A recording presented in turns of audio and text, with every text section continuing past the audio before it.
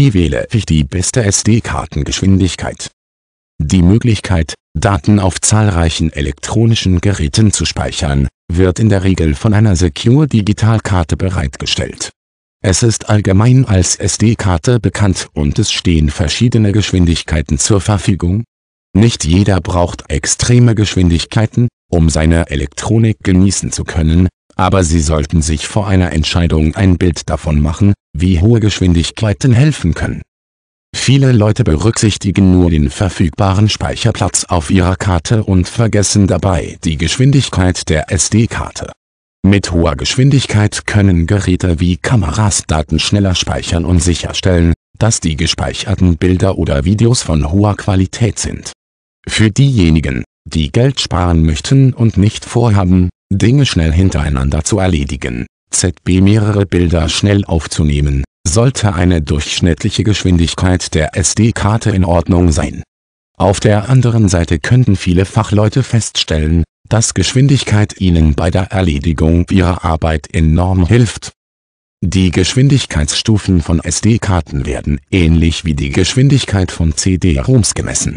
Da die durchschnittliche CD eine Geschwindigkeit von 150 kbs hat, werden SD-Karten in der Regel mit dieser Zahl verglichen, um wie viel schneller sie sind? Die durchschnittliche Geschwindigkeit der SD-Karte beträgt etwa das Sechsfache der meisten CD-ROMs und liegt bei etwa 900 kbs. Einige der besten Karten haben eine Geschwindigkeit von etwa 200 x oder 30 MB, aber in den meisten Fällen sollten 50 x ausreichen eine hilfreiche Erfindung der SD Association sind die SD Speed Class Ratings, mit denen Sie die benötigte Karte leichter finden können. Die drei Klassen sind sehr intuitiv, so dass sich die meisten Verbraucher an sie erinnern können. Klasse 2 überträgt Daten mit 2 MB, während Klasse 4 sie mit 4 MB überträgt. Vorhersehbar ist, dass Class 6 Daten mit 6 MB S oder der 40-fachen Geschwindigkeit einer CD-ROM senden kann. Das Klassenlogo befindet sich normalerweise auf der Verpackung, so dass die korrekte Geschwindigkeit der SD-Karte in jedem Geschäft leicht gefunden werden kann. Beachten Sie, welcher Geschwindigkeit angegeben ist, wenn Sie die Geschwindigkeit der SD-Karte berücksichtigen.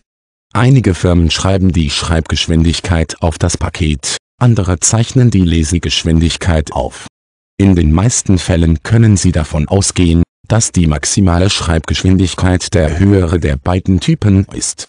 Beachten Sie, dass in der Bedienungsanleitung der meisten Kameras angegeben ist, dass einige Kameras eine besonders hohe Schreibgeschwindigkeit erfordern, um ruckelfreie Videos aufzunehmen das Aufnehmen zahlreicher Bilder in kurzer Zeit erfordert manchmal auch eine höhere Schreibgeschwindigkeit, weshalb professionelle Fotografen vor dem Kauf häufig die Geschwindigkeit der SD-Karte berücksichtigen